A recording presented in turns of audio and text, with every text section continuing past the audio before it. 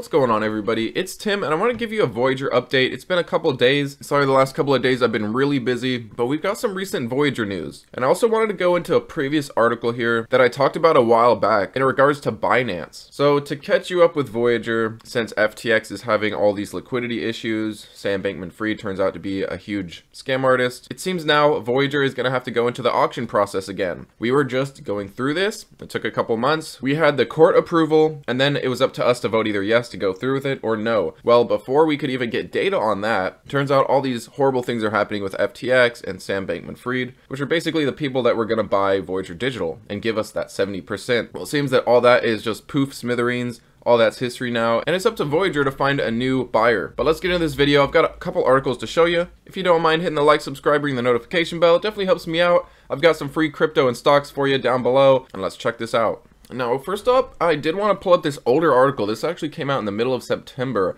I did talk about this a while ago, and during the buying process, when companies were putting out their bids, Binance was another one alongside with FTX attempting to buy Voyager. And I'm going to get into an important development which may kind of confirm the possibility of Binance still being interested. But first off, there's an issue here with Binance attempting to buy it. Because of an executive order designed to sharpen the federal government's powers to block Chinese investment in technology in the US and limit its access to private data on citizens, because of this executive order at the time, it kind of prevented Binance from buying. And Patrick Hillman of Binance said Binance has made investments into countless American companies both directly and through Binance Labs. Binance has never been the subject of an inquiry officially or unofficially by CFIUS, which is the Committee of Foreign Investment on the US. But he goes on to say Binance is a Canadian company owned wholly by a Canadian citizen. The xenophobia underlying the very nature of us receiving a question about CFIUS concerns is almost as shocking as the violation of confidentiality represented by information leaking from the bankruptcy auction. But shortly after that, another Binance spokesperson came in and said that Binance is an international company, not a Canadian one.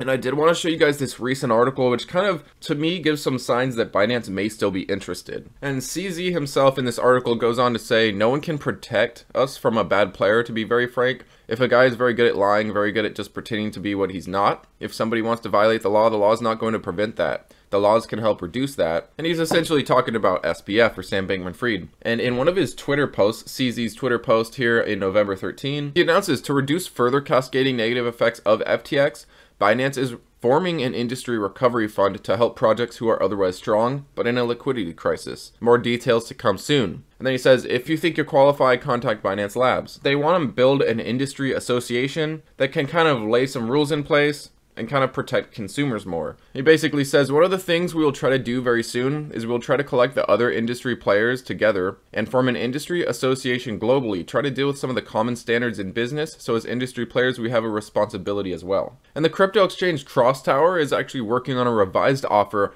for all the assets of bankrupt Voyager Digital. And as said on November 11, Voyager said that the no-shop provisions of the asset purchase agreement between Voyager and FTX US are no longer binding, meaning that the bidding process has reopened and the bankrupt company was in active discussions with alternate bidders. For all we know, they could already be talking to Binance. For all we know, they could be talking to those other investment firms that were interested. So just because we had to restart this bidding process all over again, while it is very unfortunate for us, meaning we're going to be waiting on our money even longer, all hope is not lost. And maybe we can even get better than the 70% that FTX was saying that we would get. Maybe we end up with more. Maybe we end up with less. All I know is it seems like once we get some steps forwards towards getting our money, getting our assets back, we take more steps backwards. So here we go again with another bidding process. Just when I thought we were done, they drag us back in. But thanks as always, guys. Hopefully this caught you up to speed with Voyager a little bit. Have a good rest of your day and take it easy.